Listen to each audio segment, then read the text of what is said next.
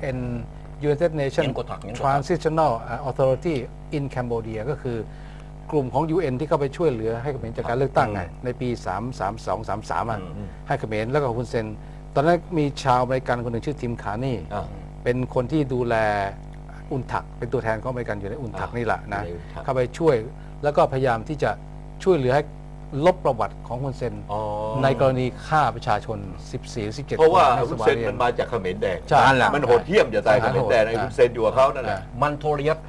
มันอยู่ในพวกมันก็ทรยศกับเขานะ ครับมันหักหลังเขามาตลอดใช่คนนี้ขึ้นมาหักหลังไม่แตกต่างกับทักษิณนะครับผมใช่จะบอกให้คุณไปอ่านทักษิณเลยคือ มันหักหลังคนมาตลอดคือถ้าจะดีนะ มันไม่ต่างกันเลยสองคนเนี่ยอะ มันชาติชั่วทั้งคู่โมเดลเดียวกันคือถ้าหากว่าฮุนเซนโดนเด้งตกจากอำนาจ แล้วไม่ตายเหมือนมาคอสนะ แล้วไม่ตายนะ โอกาสที่ถูกรื้อฟื้นคดีนี้เหมือนกับโดน เหมือนกับพวกอะเอียงสาลีหรือเกี่ยวสัมพันธ์อ่าโดนนะเอียงสาลีจะขึ้นศาลอาญาระหว่างประเทศอืมนะแต่เมื่อวันที่จะมีศาลที่ตั้งขึ้นในเขมรก็ตาม แต่ว่าคดีนี้อาจจะถูกส่งขึ้นศาลอาญาระหว่างประเทศที่กรุงเฮกถูกต้องอ่าแล้วคุณทักษิณกรณีที่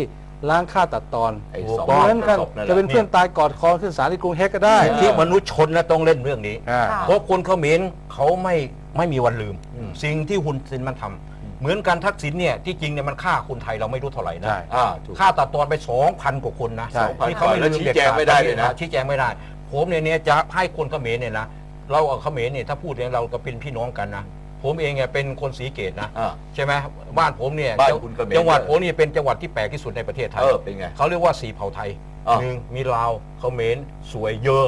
เยอะใช่ไหมสุยใสนี่เป็นเยอะสุริยใสนะนี่เยอะเยอะเยอะครับเยอะราศีสเยลาอะยอะไม่ใช่ชักกระเยอะนะคนละเยอะเยอะเยอะเป็นเป็นเยอะเป็นอีกเผ่าหนึ่งอ่าใช่ไหมนี่เราจะเห็นว่ามันแตกต่าง เพราะว่า ทางชายแดนมันเป็นเขมรทั้งแถบไปเลยอ๋อ ใช่ไหมพูดภาษาเขมรนี่แล้วคุณพูดภาษาเขมรได้ไหมผมก็มันมาตั้งแต่เล็กก็บอกแล้วเมื่อมาอ๋อมาแต่เล็กเอาไงก็ที่ผมอ่านเมื่อกี้เนี่ยได้ภาษาเขมรที่ได้ช่องนะช่างงามน่ะเป็นบ้านผมนั่นน่ะอ๋อช่องช่างงามอำเภอภูสิงห์อะอะ นั่นนะอืม ช่องช่างงามเนี่ยเป็นเป็นเส้นทางเดินของขอมขึ้นมาเออ อ่าเป็นเส้นทางเดินของขอมขึ้นมา นี่ที่ตัดพูดมาเดินทับคนที่ไปทำในโกโปรเดชชลิดเนี่ยไปเปิดเส้นทาง ผมก็ไปร่วมเปิดที่นั่นเหมือนกันน่ะค่ะช่วงนั้นอ่าอ่าอ่าเดี๋ยวเขาจะมาไล่เลี้ยงไล่ก่อนเราจะมาค่เรื่องอื่น อย่าลืม พาไปแวะที่สิริราช แม่นค่ะ เพราะว่ามือนี้นะคะก็ยังคงมีประชาชนหลังไหลทยอยเดินทางไปที่โรงพยาบาลศิริราชอย่างต่อเนื่องเมื่อสุกร์เสาร์ที่ผ่านมาค่ะมีประชาชนคณะบุคคลแล้วก็สมาคมได้มีการเดินทางไปลงน้ำถวายพระพรพระบาทสมเด็จพระเจ้าอยู่หัวเป็นจำนวนมากค่ะ ส่วนใหญ่จะไปเป็นหมู่คณะกับมีทั้งผู้แทนชุมชน แล้วก็เป็นสถาบันการศึกษาอย่างเช่น มหาวิทยาลัย เทคโนโลยีประจอมเกล้าพระนครเหนือ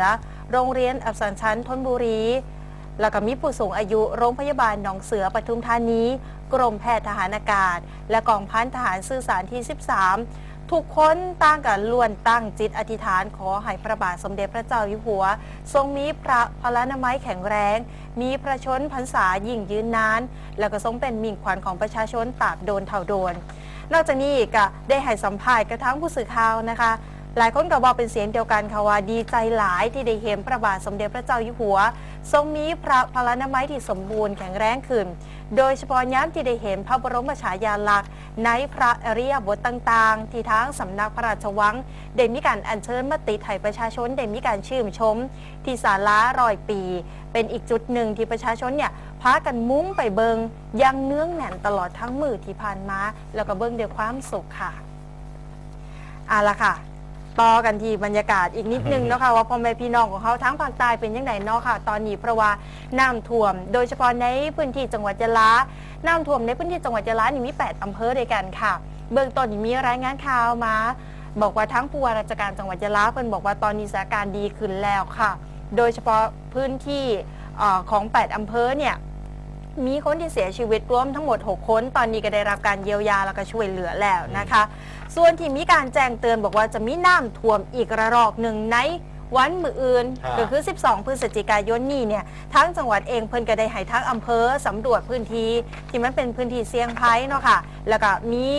อ่าการสำรวจพื้นที่ที่คิดว่าน่าจะมีดินถล่มกับพื้นที่ที่น้ำท่วมซ้ำซากทุกปีก็มีการเข้าไปสำรวจแล้วก็ทำการอพยพประชาชน นอกจากนี้ก็ให้อาสาสมัครป้องกัน และก็บรรเทาสาธารณภัย ซึ่งกรมป้องกันและบรรเทาสาธารณภัยเพิ่นก็ได้มีการฝึกไว้นะคะ ฝึกไว้ว่าเวลาที่คอยช่วยเหลือประชาชนต้องเฮ็ดจังใดบ้างนะคะ ก็เป็นการเตรียมความพร้อมรับมือในเหตุการณ์ที่อาจจะเกิดขึ้นมืออื่นนี่12 พฤศจิกายนนะคะเพราะว่ามีการแจ้งเตือนว่าอาจจะมีน้ำท่วมอีกระรอกค่ะ ครับ อาปุยมีข่าวเอ่อประชาสัมพันธ์อีกนิดนึงเนาะค่ะเพราะว่าจริง ๆ แล้ววันเสาร์ที่ 14 พฤศจิกายนนี่จะเนี่ยมีเรื่องเอ่อคอนเสิร์ตที่ อรัญญประเทศอรัญญประเทศที่จังหวัดสระแก้วสระแก้วนะเป็นจ๊ะไง ตอนแรกเนี่ยเขาก็มีการจัดงานไว้คือวันที่14พฤศจิกายนกะได้มีการขอประกาศนะคะก็คือประกาศเลื่อนขอจัดงานคอนเสิร์ตการเมืองครั้งที่เก้าที่สวนการจนะอำเภออรัญญประเทศ จังหวัดสระแก้วออกไปก่อนเนาะค่ะ ก็เลยแจ้งให้ทราบนะคะ แล้วก็จะมีการเอ่อ ชี้แจงอีกครั้งหนึ่งนะคะว่าจะมีการจัดงานมือใดหลังวันที่15พฤศจิกายนก็คือ หลังจากที่เขามีการชุมนุมใหญ่ที่สนามหลวงนั่นแหละค่ะนะคะสำหรับผู้ใดที่มีการซื้อบัตรไปแล้ว เวลาเขาชมเนี่ยเก็บบัตรไว้เด้อค่ะอย่าเพิ่งเอาทิ้งเด้อค่ะเพราะสามารถใส่ได้ต่อไปค่ะแล้วคณะเดียวกันก็เชิญชวนพ่อแม่พี่น้องที่รักชาติว่าว่าจะเสือสีใดสัญชาติใดที่มีความเถิดทูนสถาบันพระมหากษัตริย์มาร่วมโตกัน วันอาทิตย์ที่15พฤศจิกายน เวลา4โมงแล้งจนถึงหาทุ่มที่ครับท้องสนามหลวงนะคะ และที่สำคัญคือ อย่าลืมนะค่ะ ผู้ใดสีมาวันอาทิตย์นี้ ต้องเตรียมอาหาร เตรียมน้น้ำเตรียมเทียน แล้วก็เอ่อของที่คุณต้องใส่อะค่ะที่จำเป็นมาเพราะพวว่ากงานยานี้ดมของยางวดดมบางทีเตรียมมาติแมดตัวนไว้ก็จ้าดีเพราะว่างานนี้ของงวดแจกอาหารนะคะ แล้วก็สำหรับผู้ใดว่าเออจะแต่งตัวอย่างไร ตามสบายนี่อยากใส่นี่สีนี่อะไรก็ได้เสื้ร่มอร่มร่มใช่เสื้อกันฝนด้วย ใครมีเสื้อแบบนี้อยากใส่เสื้อแบบเสื้นี้อกัก็นฝนได้ร่มแมนจะร่มด้วยเสื้อกันเสื้อฝกันนฝน แล้วก็สำหรับนักเรียนนิสิตนักศึกษาก็แต่งตัวเป็นนักเรียนเนี่ยแหละค่ะได้มานะคะ ยังไงมายังไงได้ได้เลย แมนค่ะคุณ กระแจ้งเข้าประชาสัมพันธ์บอครับกคุณค่ะ ผู้อีกนิดนึงค่ะค่ะ ข่าวประชาสัมพันธ์เนี่ยพอดีชาวอีสานในอเมริกาในยุโรปที่ดูรายการเราเนี่ยเอ่อในอเมริกาเขาบอกมานิดหนึ่งฝากฝ่ายเทคนิคด้วย ค่ะ ว่าที่ลาสเวกัสเนี่ยเวลาดูเนี่ยเสียงจะเบา ค่ะนะครับส่วนภาพเพิ่มนี่โอเคหมดแล้วจ้ะ นะครับส่วนทางซิดนีย์ออสเตรเลียเนี่ยเขาน้อยใจเขาบอกทักทายแต่อเมริกายุโรปไม่ทักทายที่โอ้ซิดนีซิดนีย์ย์เหรอออสเตรเลียเลยเอาครับได้หลายคนก็ดูกันสวัสดีแบพี่บน้องเรียกแบบไม่ปิดเลยเอานะฮะได้เออแล้วก็เขาก็จะมาซื้อร้อยบุผาเหมือนกัน เดี๋ยวเขาจะอืม นำมาร่วมด้วยค่ะโดยจะให้สุภาพสตรีที่เป็นตัวแทนมันมานั่งในเก้าอี้ของเขา ค่ะแล้วก็ส่วนทางด้าน นาฬิกาจตุคามรามเทพเนี่ยนะฮะเป็นยังไงบ้างเอ่อรุ่นแรกเนี่ย190เรือนหมดแล้ว โอ้หมดแล้วหมดแล้วค่ะหมดแล้วนะเรือนละ19,000ฝ่าเนี่ยนะฮะค่ะเอ่อแล้วก็จะได้รับเขาเรียกนาฬิกาในเดือนธันวาคมอืมคือนาฬิกานี้ทำที่ประเทศญี่ปุ่นนะฮะ โรงงานเขารับทำให้เฉพาะ 300 เรือนเท่านั้นเอง ค่ะแล้วไม่ทำอีกแล้ว ค่ะ เพราะงั้นจะมีเพิ่มอีกหนึ่ง คือเรามีได้ 300 เรือน อีก 110 เรือนเนี่ยจะได้ในเดือนกุมภาพันธ์ค่ะ แล้วก็จองกันมาเยอะแล้วเพราะฉะนั้นท่านที่จองเนี่ยจองแล้วโอนเงินให้คุณหลินเลยนะฮะไม่ใช่ว่าจองจองจอง แล้วไม่มาเพราะว่าเราทำได้แค่อีกร้อยสิบเรือนเท่านั้นเอง ค่ะ ก็ฝากท่านที่จองประสานกับคุณหลินโดยตรงเลยนะครับ ค่ะ อ่าแล้วก็อีกเรื่องหนึ่งประชาสัมพันธ์พอมีพ่อแม่พี่น้องส่ง SMS มาทั้ง 087 560 4413เป็นพี่น้องจากลำปางค่ะเป็นบอกว่าพี่น้องพันธมิตรลำปางเจ้า ฟังข่าวข้อข่าวได้ที่ FM 89.5 คือว่าพี่น้องลำปางผู้ใดเนี่ยอยากจะฟังรายการข้อข่าวริมโขงสดเลยเหรอ แมนค่ะ โอ้ดีจัง แล้วก็สามารถซื้อสินค้าของ ASTV ได้ที่ห้างเสรีสรรพสินค้าลำปาง จากพี่น้องพันธมิตรลำปางนะจ๊ะแล้วก็มีข้อความ